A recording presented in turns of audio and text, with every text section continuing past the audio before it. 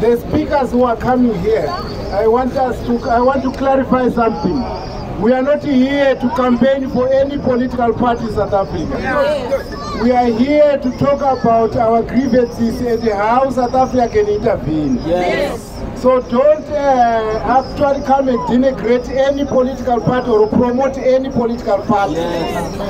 i heard it, our youth was uh, saying something like that yeah, in yeah. actual fact we are fighting for majority rule yes. any party that was favored by the south africans as the majority will support that yes. Yes. we are going to say no to this thing of uh, uh, system of sisters, brotherhood between the uh, eh, ZANU-PF and liberation eh, parties against all odds, even when the people are against We are saying actually, let's review that agreement. We are calling for the NC to review that agreement with the other liberation parties yes. where they claimed to give each other solidarity.